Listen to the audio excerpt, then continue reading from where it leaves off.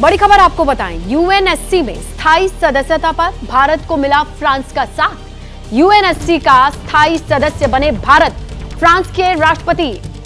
Emmanuel macro ने कहा कि यूएनएससी विस्तार की मांग करते हुए भारत को स्थायी सदस्य बनाया जाए। इस तरीके से यूएनएससी में स्थायी सदस्यों की संख्या बढ़ाई जाए, विस्तार किया जाए और इस विस्तार पर फ्रांस की सहमति है।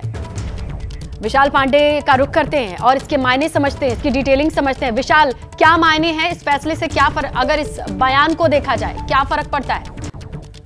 देखिए, लगातार संयुक्त राष्ट्र की सुरक्षा परिषद में विस्तार और उसके सुधार की मांग अलग अलग देशों की तरफ़ से की जा रही है।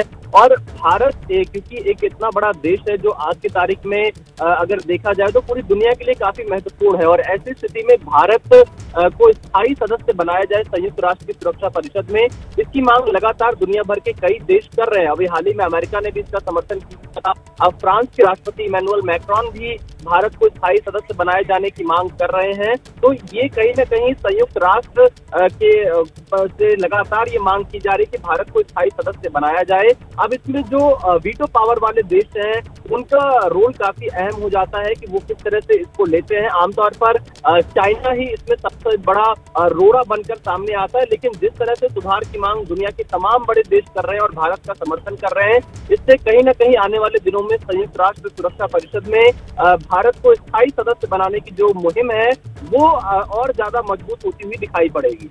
बिल्कुल, विशाल, देखते हैं इस पे किस तरीके से बातें बहुत लंबे पुराने वक्त से चलती आई हैं, लेकिन अब फ़िलहाल फ्रांस का भी समर्थन सामने आया है।